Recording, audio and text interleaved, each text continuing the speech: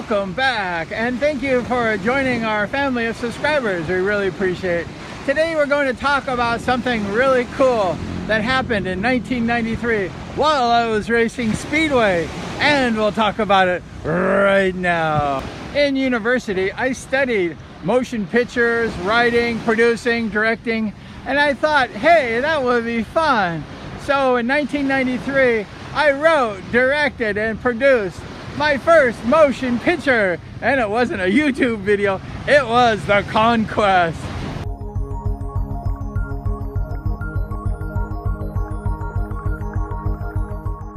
I spent like one year, one exhausting year, so so exhausting, writing it and producing it and making it.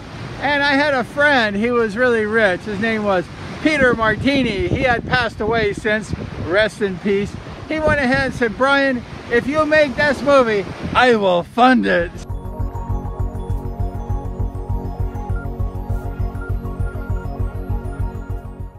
It was only like $10,000, which is like a half a million pesos, not that much. But we went ahead and said, let's give it a whirl.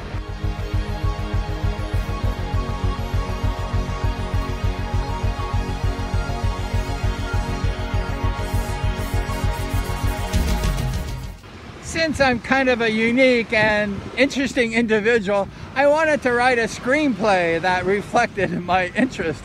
I liked ice hockey, and I thought there's not that many black people that play the sport of ice hockey. You have basketball, all full of black people, baseball, many sports with black people, but hockey, ice hockey, which is played like in the northern areas like Canada and other places, there's not that many black ice hockey players. And I thought that would be cool to make a hockey movie about a black hockey star. So I thought, hmm, I will do that one. So I wrote The Conquest.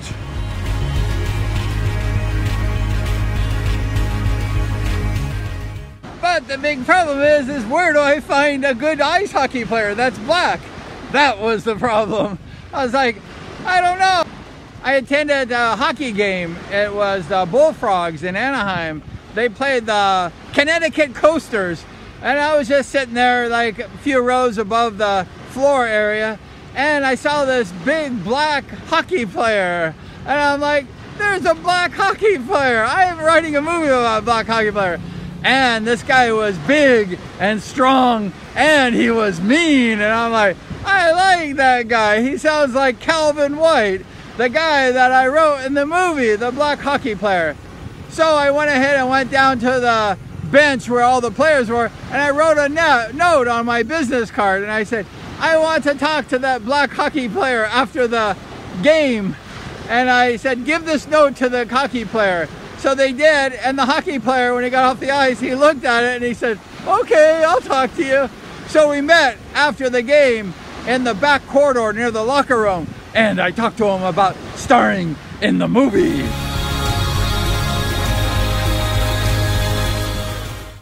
His name is Berkeley Hoagland, and Berkeley was really a cool guy and is a cool guy today. He's a funny guy, and I said, I like this guy.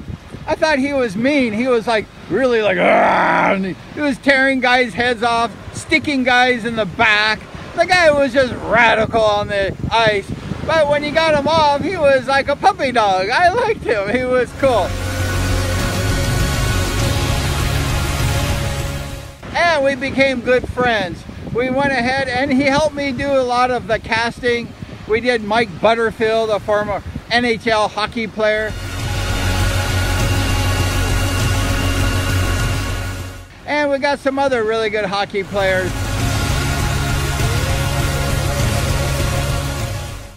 Don't know how we did it, but we got Jack White. He was a hockey producer of the Mighty Ducks hockey movies. Remember that movie, The Mighty Ducks?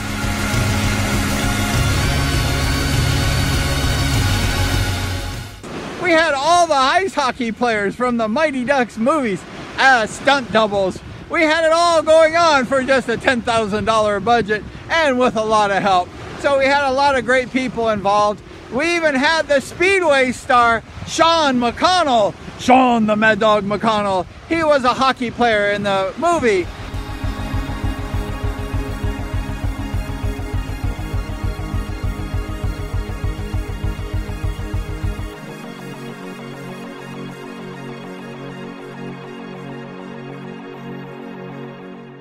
The movie was not a raging success, but it was a lot of fun. We got our money back, so that was good. But it was just a lot of fun. We spent like three months filming it all over Big Bear, Orange, California, and we rented the San Diego Sports Arena for the championship game.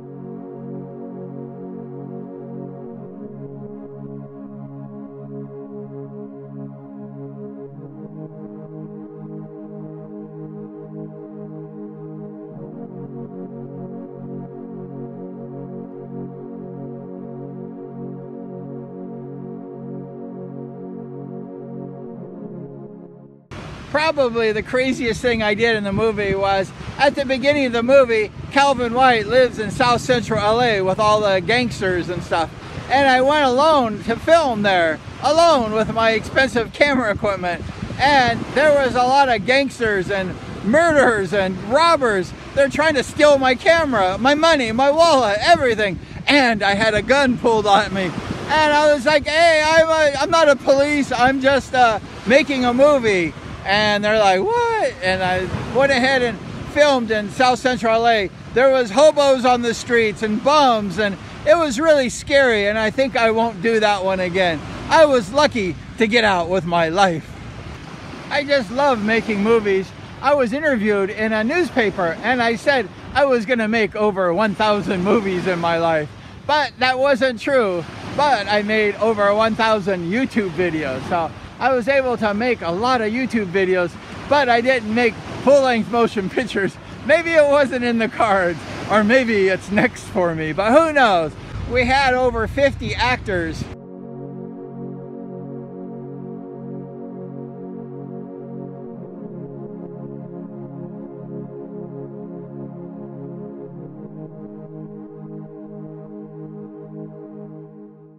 and we had ice hockey players all over the place. We filmed at Huntington Beach, all over the place.